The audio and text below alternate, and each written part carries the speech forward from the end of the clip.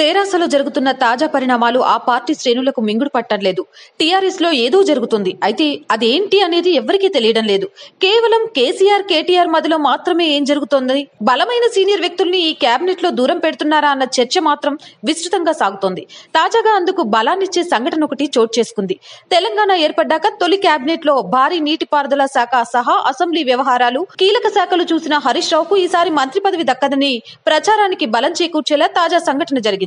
మాజీ మంత్రి హోదాలో హైదరాబాద్లోని మంత్రుల నివాసంలో ఉంటున్న హరీష్ రావు తాజాగా తనకు కేటాయించిన మినిస్టర్ బంగ్లాను ఖాళీ చేశారు.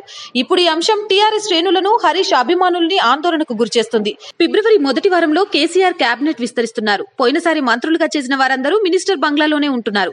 కానీ హరీష్ రావు మాత్రం తన బంగ్లాను ఖాళీ చేయడంతో ఆయనకు మంత్రి పదవి దక్కదన్న ప్రచారానికి బలం చేకూరుతుంది. కొత్త ప్రభుత్వంలో హరీష్కు మంత్రి పదవి రాదన్న వాదనకు ఈ సంఘటన ప్రధాన సాక్షిగా కనబడుతోంది. మంత్రి పదవి దక్కదని హరీష్ రావు ఖాళీ చేశాడు? చేశాడా? లేక టీఆర్ఎస్ అధిష్టానం నుంచి ఏమైనా ఆదేశాలు అంది ఖాళీ చేశాడా అన్నది ఇప్పుడు టీఆర్ఎస్లో చర్చనీయాంశమైంది. మొత్తానికి హరీష్ బంగ్లా ఖాళీ చేయడంతో ఆయనకు కేబినెట్ బెర్త్ లేదన్న వార్తలకు బలాన్నిచ్చింది.